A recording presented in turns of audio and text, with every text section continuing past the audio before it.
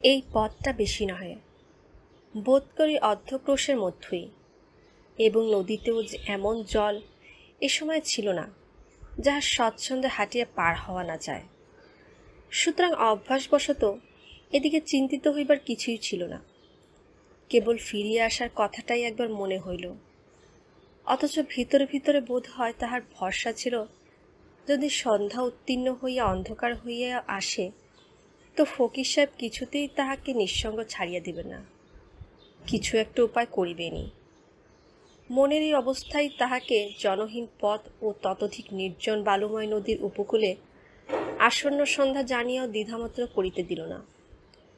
বারোইয়ের প্রপারে সোজা সেই বিপুল বট বৃক্ষতলে সাধুর আশ্রমে আনিয়া উপনীত করিল এবং প্রথমেই যাহার সহিত সাক্ষাৎ হইয়া একেবারে হতবুদ্ধি হইয়া গেল তিনি ফকির সাহেব নয়।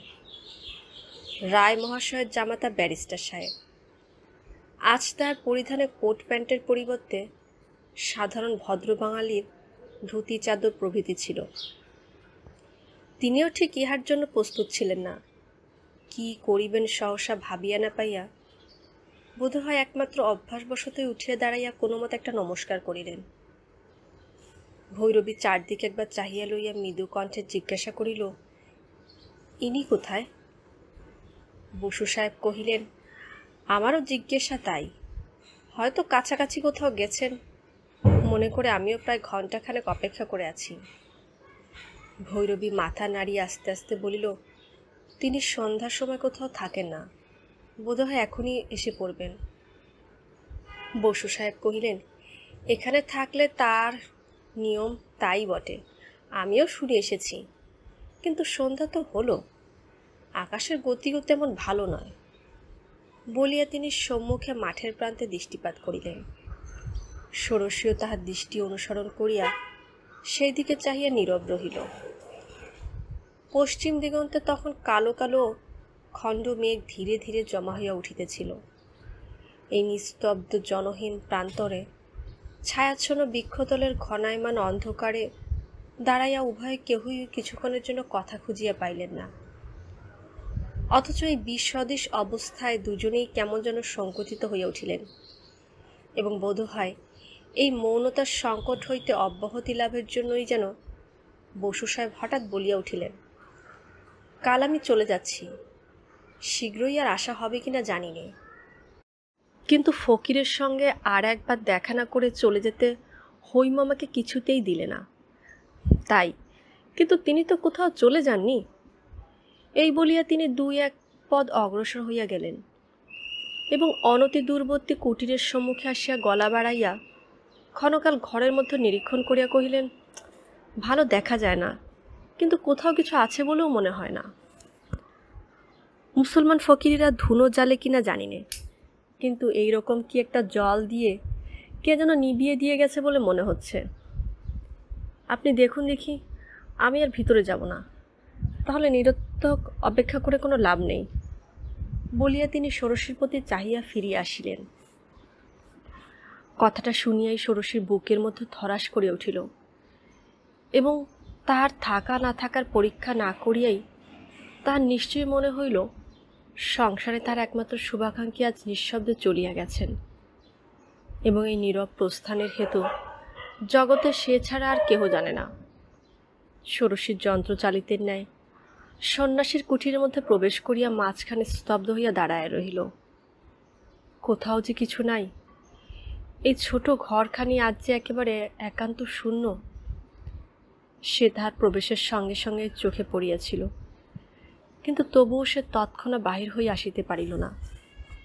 তাহার বুকের মধ্যে কেবল এই কথাটাই অঙ্গারের ন্যায় জ্বলিতে লাগিল। তিনি যথার্থই দোষী জ্ঞানে তাহাকে ত্যাগ করিয়া গেছেন এবং তাহার আভাস মাত্র দেবারও প্রয়োজন বোধ করেন নাই।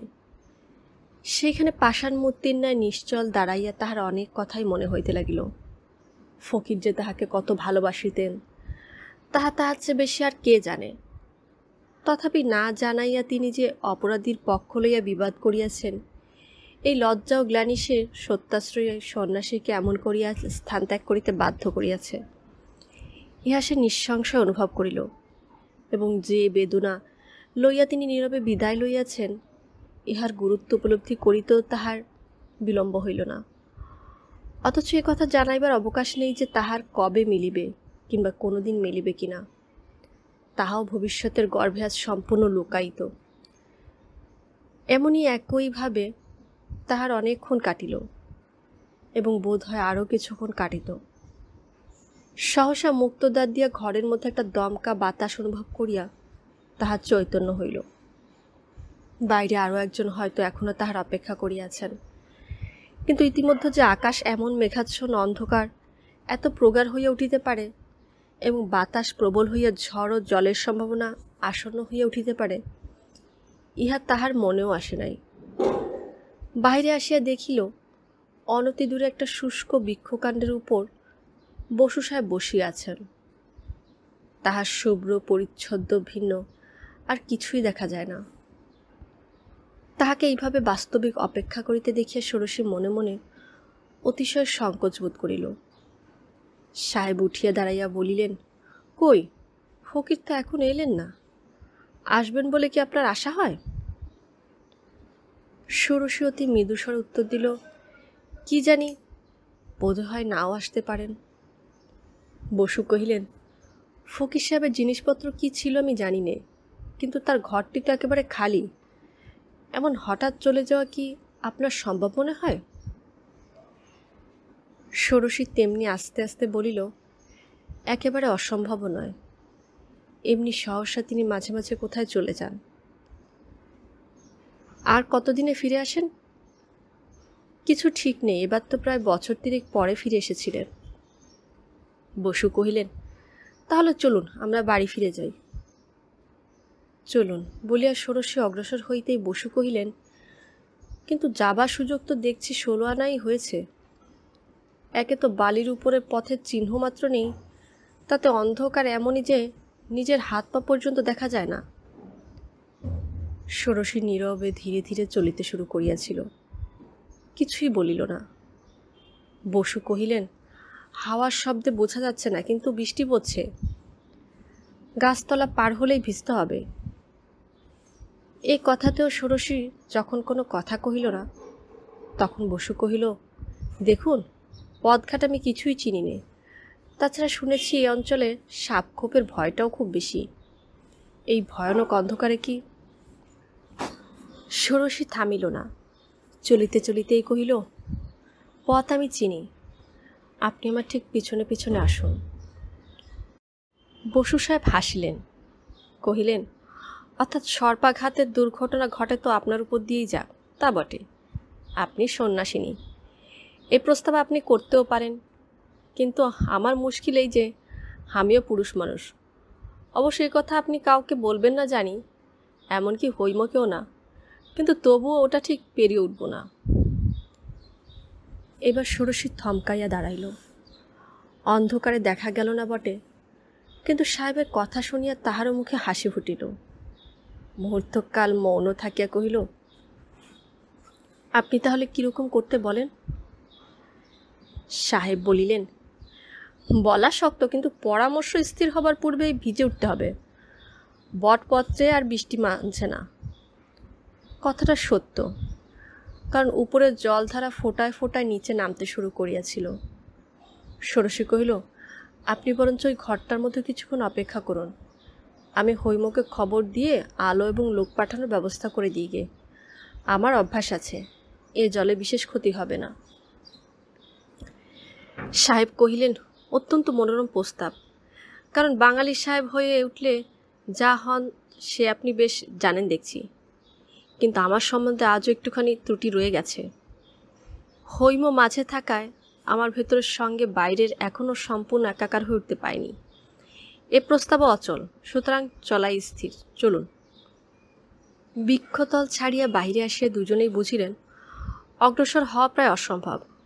কারণ বায়ু বেগে বৃষ্টি ধারায় যে কেবল গায়ে সূচের মতো বিধিতেছে তাই নয়।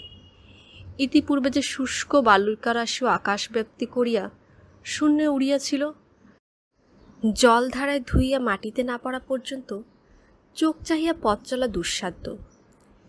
নিঃশব্দে চলিতে চলিতে ষোড়শী হঠাৎ পেছনের শব্দ শুনিয়া থমকাইয়া দাঁড়াইয়া কহিল, আপনার লাগল নাকি? বসু সাহেব কোনো মতে সামলাইয়া লইয়া সোজা হইয়া কহিলেন হ্যাঁ কিন্তু প্রত্যাশার অতিরিক্ত কিছু নয়। চশমা শুদ্ধ চোখ আমার চারটে বটে, কিন্তু দৃষ্টিশক্তিটা চার ভাগের এক ভাগ থাকলেও বাঁচতাম। চলুন। ষোড়শী বলিল, না। এক মুহূর্ত চুপ করিয়া থাকিয়া ধীরে ধীরে জিজ্ঞেস করিল, আপনি কি সত্যিই ভালো দেখতে পাচ্ছেন না? বসু সাহেব কহিলেন, সত্যি। তারপরে ঈশ্বর হাসিয়া বলিলেন, বিস্তর ইংরেজি বই মুখস্থ করে সাহেব হতে হয়েছে। তার দক্ষিণাটাও তো তারা বেশ বড় করেই নিয়েছে।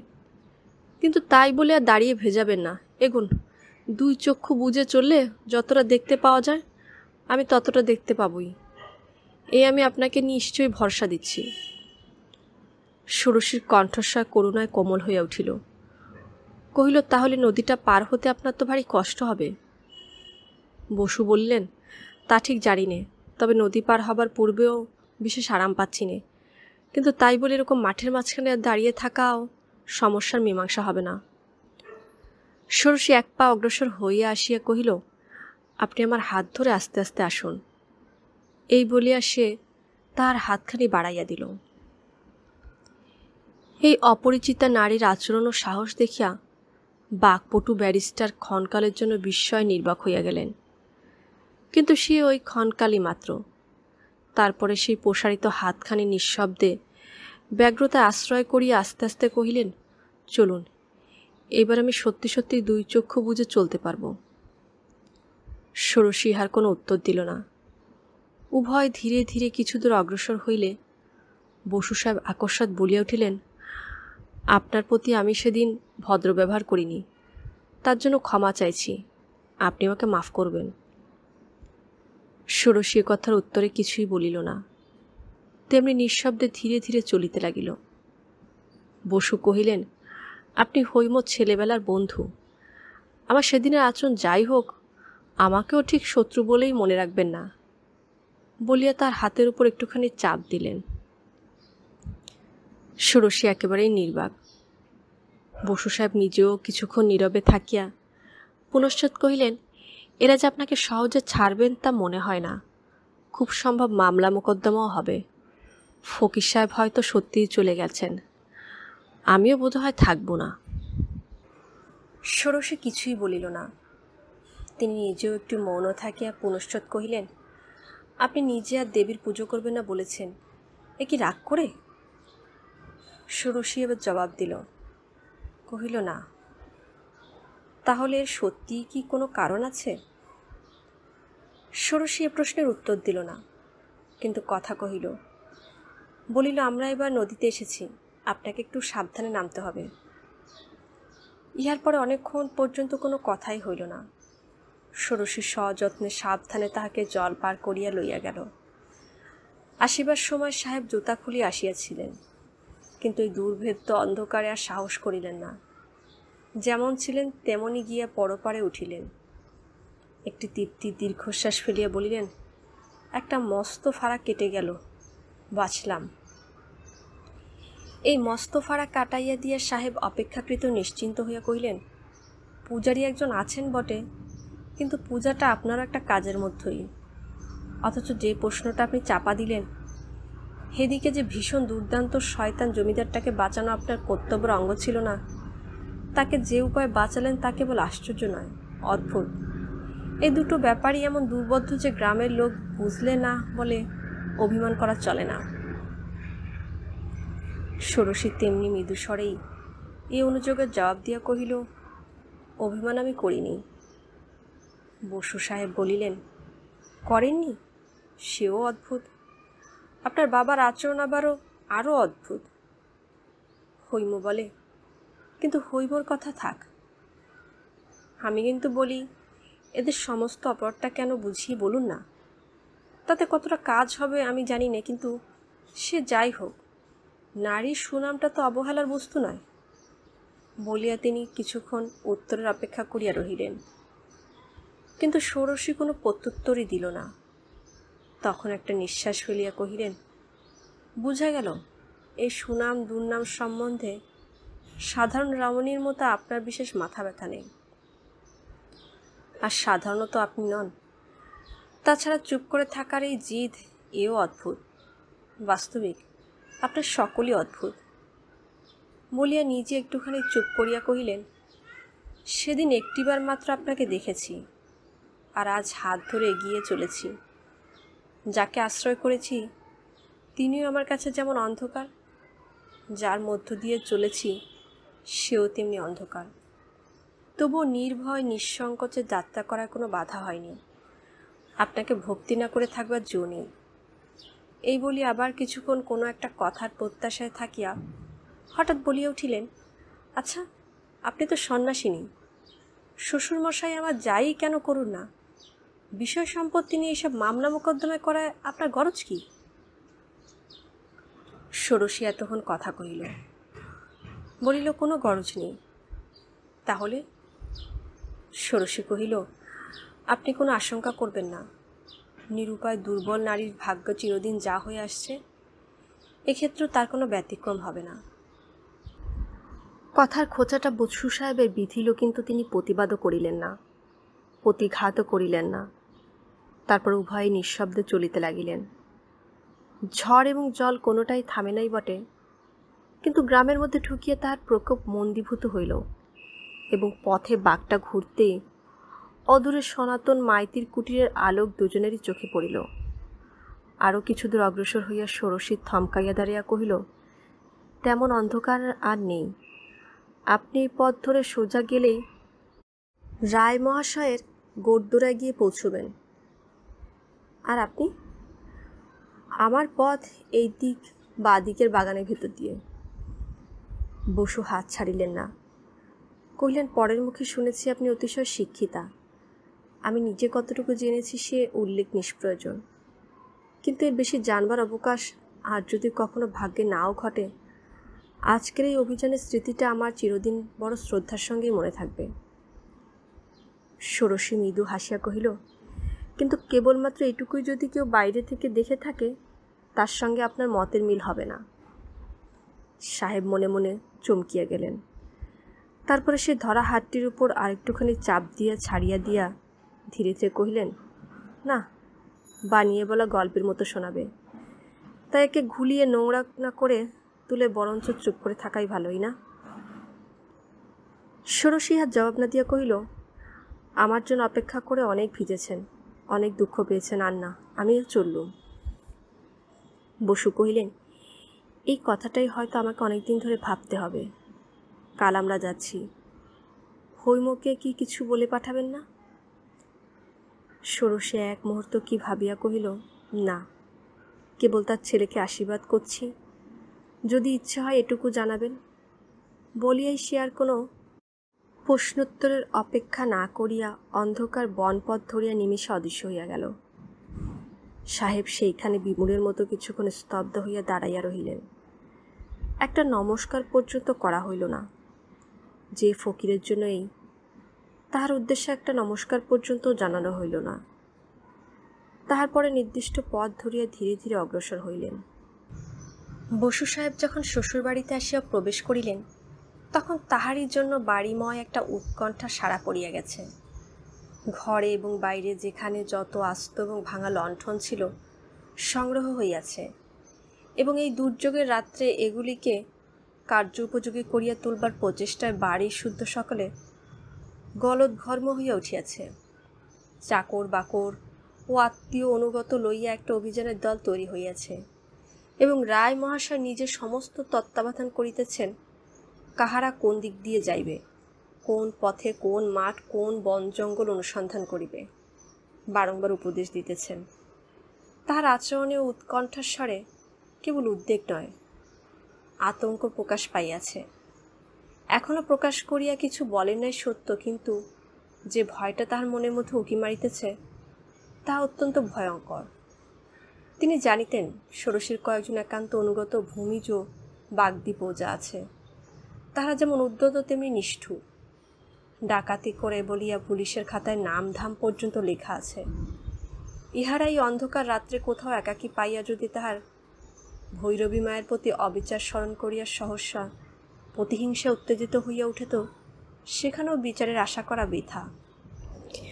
হৈম একপাশে চুপ করিয়া দাঁড়াইয়া সমস্তই দেখিতেছিল। পিতার আশঙ্কাও তাহার দৃষ্টি এড়ায় নাই। কিন্তু তখন পর্যন্ত সে ভিতরের আসল কথাটা জানিত না।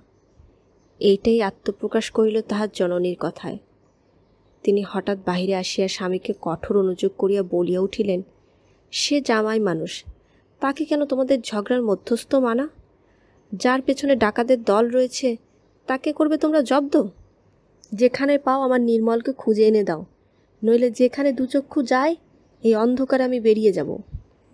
বলিয়া তিনি কাদো কাদো হইয়া অন্তপুরে চলিয়া গেলেন, এবং কিছুক্ষণের জন্য কন্যা ও পিতা উভয় নির্বাক বিবর্ণমুখে স্তব্ধ হইয়া রহিলেন। জনার্দন রায় আত্মসংবরণ করিয়া সান্ত্বনা ও সাহসসূচক কি একটা কথা হৈমুখে বলিতে যাইতেছিলেন। ঠিক এমনই সময়ে জামাতা প্রাঙ্গণে আসিয়া দাঁড়াইলেন। তাহার সর্বাঙ্গ বাহিয়া জল ঝরিতেছে। জামা কাপড়, জুতা কদা মাখা শ্বশুরের মুখের কথাই রহিয়া গেল। কিন্তু পরক্ষণে যে সাহেব জামাইকে তিনি যথেষ্ট খাতির এবং ভয় করিতেন তাহাকেই আনন্দের উৎকট প্রাবল্যে যা মুখে আসিল তাই বলিয়া তিরস্কার করিতে লাগিলেন।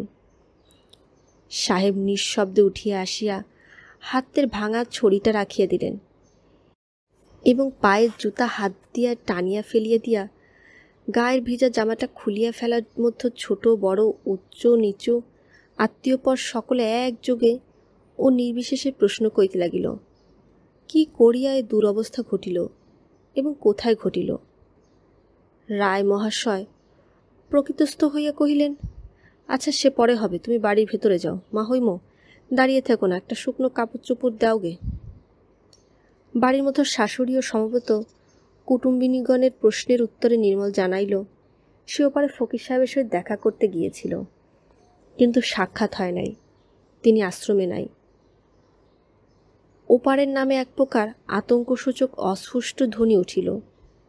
রায় মহাশয় আশ্চর্য হয়ে বললেন, তার সঙ্গে দেখা করতে যাওয়া? আমাকে বললে তো তাকে ডেকে পাঠাতে পারতাম। কিন্তু এই অন্ধকার পথ চিনলে কি করে? নির্মল কহিল, পথ চেনবার আমার দরকার হয়নি, হলে পারতাম না। কিন্তু এলে কি করে? একজন আমাকে হাত ধরে এনে বাড়ির সামনে দিয়ে গেছেন। চতুর্দিকে প্রশ্ন উঠিল, কে কে, কি নাম তার? নির্মল একটুখানি স্থির থাকিয়া কহিল, কি জানি, নামটা জানাতে হয়তো তার আপত্তি আছে। রায় মহাসৎ প্রতিবাদ করিয়া কহিলেন, আপত্তি? কক্ষণও না। আমাদের দেশের লোককে তুমি চেনো না। কিন্তু যেই হোক তাকে খুশি করে দেওয়া চাইতো বলিয়া চাকরটাকে তৎক্ষণা ডাকিয়া হুকুম করিয়া দিলেন অধ চাটুর্য যদি বাইরে থাকে, এখনই বলে দে। কাল সকালেই খবর নিয়ে যেন বকশিস দেওয়া হয়। পুরো টাকাই যেন তার হাতে পড়ে, কেটে যেন কিছু না রাখে। চাটুর্যটা আবার যে কিপন বলিয়া তিনি ঔদার্যের আবেগে প্রথমে গৃহিণী ও পরে কন্যা জামাতার মুখের প্রতি সদয় দৃষ্টিপাত করিলেন। রাত্রে আহারাদির পরে নিরালা ঘরের মধ্যে স্বামীকে একাকী পাইয়া হৈম গইল বাবা তো পুরস্কারের ঘোষণা করে দিলেন। পুরো টাকাটা দেবার চেষ্টাও হয়তো কিছু হবে, কিন্তু ফল হবে না। নির্মল কহিল, না, আসামিকে পাওয়া যাবে না। হৈম একটু হাসিয়া জিজ্ঞাসা করিল কিন্তু তুমি সেই দয়ালু লোকটিকে কি পুরস্কার দিলে? নির্মল কহিল, দেওয়া জিনিসটা কি তুমি এতই সহজ মনে করো? ও কি কেবলমাত্র দাতার মর্জির উপরেই নির্ভর করে? তাহলে দিতে পারো নি, দেবার চেষ্টাও করিনি। হৈম স্বামীর মুখের প্রতি এক মুহূর্ত চাহিয়া থাকিয়া কহিল, কিন্তু আমার উচিত। বাবা তাকে বার করতে পারবেন না, কিন্তু আমি পারব। নির্মল সন্দেহ প্রকাশ করিয়া কহিল, আমার মনে হয় তোমার বাবার মতো তুমিও খুঁজে পাবে না। হৈম বলিল, যদি পাই তো আমাকেও কিছু পুরস্কার দিও। কিন্তু আমি তাকে চিনেছি। কারণ তোমার মতো অন্ধ মানুষকে যে এই ভয়ানক অন্ধকারে নির্বিঘ্নে নদী পার করে ঘরের সামনে রেখে যেতে পারে? অথচ আত্মপ্রকাশ করে না? তাকে চিনতে পারা শক্ত নয়। তাছাড়া সন্ধের আধারে গা ঢাকা, আমিও একবার তাকে দেখতে গিয়েছিলাম। গিয়ে দেখি ঘরদোর খোলা। তিনি নেই বটে, কিন্তু তারাদাস ঠাকুর সমস্ত দখল করে বসে আছেন। লুকিয়ে পালিয়ে এলাম। পথে একজন চেনা লোকের সঙ্গে দেখা হলো। সে বলে দিলে ষোড়শীকে সে সোজা নদীর পথে চলে যেতে দেখেছে। এখন বুঝলে যে দয়ালু লোকটি তোমাকে দিয়ে গেছেন তাকে আমি চিনি, কিন্তু সত্যি সত্যি কি একেবারে হাত ধরে রেখে গেছেন? নির্মল ক্ষণকাল চিন্তা করিয়া মাথা নাড়িয়া কহিল, সত্যিই তাই। যে মুহূর্তে তিনি নিশ্চয়ই বুঝলেন আমি অন্ধের সমান, সেই মুহূর্তে নিঃসংকোচে হাত বাড়িয়ে দিয়ে বললেন, আমার হাত ধরে আসুন। কিন্তু পরের জন্য এ কাজ তুমি পারতে না। হৈম অত্যন্ত সহজে স্বীকার করিয়া কহিল, না, তাহার স্বামী কহিল তা জানি। ইহার পরে কি করিয়া কি হইল সমস্ত ঘটনা একে একে বিবৃত করিয়া কহিল। অথচ এছাড়া আমার পক্ষে যে কি উপায় ছিল জানি নেই আবার ওদিকে তার বিপদের গুরুত্বটা একবার ভেবে দেখো। আমাকে তিনি সামান্যই জানতেন এবং তাও বোধহয় ভালো করে জানতেন না। তবু আমাকে এই নির্জন অন্ধকার পথ দিয়ে নিয়ে এলেন। এর দায়িত্বটা কত বিশ্রী, কত ভয়ঙ্কর। বস্তুত পথ চলতে চলতে আমার অনেকবার ভয় হয়েছে। যদি কারও সম্মুখে পড়ি, তার চোখেটা কী রকম দেখাবে? দেখো হৈম, তোমাদের দেবীর এই ভৈরবীটিকে আমি চিনতে পারিনি সত্যি। কিন্তু এটুকু আজ নিশ্চয়ই বুঝেছি। এর সম্বন্ধে বিচার করার ঠিক সাধারণ নিয়ম খাটে না।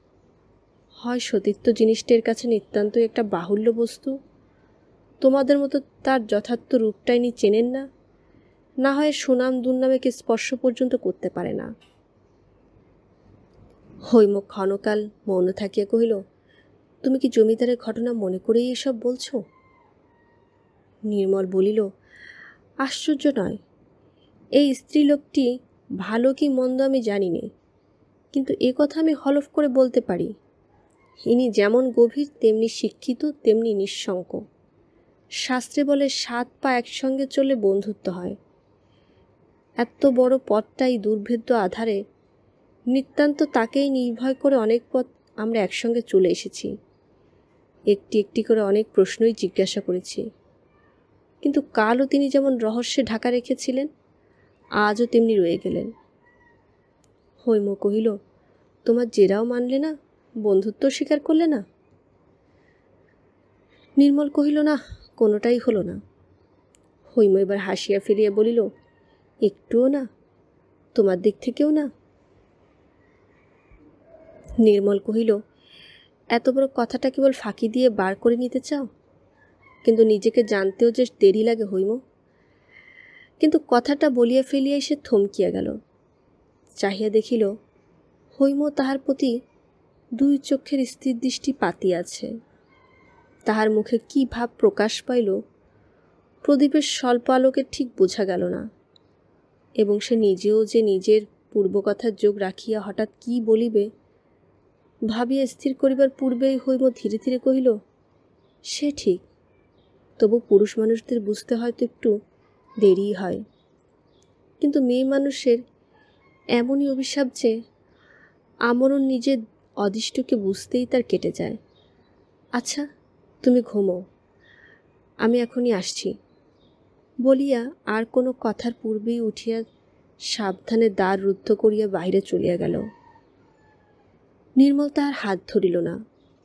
রহস্যর অন্তরালে স্ত্রীর এই অর্থহীন সংশয় ও অবিচারের বেদনা তাহাকে যেন আকস্মাৎ ক্রোধে চঞ্চল করিয়া তুলিল। সম্মুখের বড় ঘড়িটা অত্যন্ত ক্লেশকর মিনিটের কাটাটা নড়িতে নড়িতে নিচে ঝুলিয়া পড়িল। কিন্তু তখন পর্যন্ত যখন সে ফিরিয়া আসিল না, তখন আর সে একাকী শয্যায় থাকিতে না পারিয়া ধীরে দ্বার খুলিয়া বাহিরে আসিয়া দেখিল, অন্ধকার বারান্দায় একটা থামের পাশে হৈম চুপ করিয়া বসিয়াছে কাছে আসিয়া মাথার গায়ে হাত দিয়া দেখিল বৃষ্টির ছাটে সমস্ত ভিজিয়া গেছে। হাত ধরিয়া ঘরে আনিয়া কহিল, তুমি কি পাগল হয়েছ হৈম? ইহার অধিক আর তাহার মুখে আসিল না। আসার প্রয়োজনও বোধ করিল না। প্রদীপের আলোকে তাহার মুখের প্রতি চাহিয়া দেখিল, অশ্রুর আভাস চোখের কোণ হইতে তখন পর্যন্ত বিলুপ্ত হয় নাই।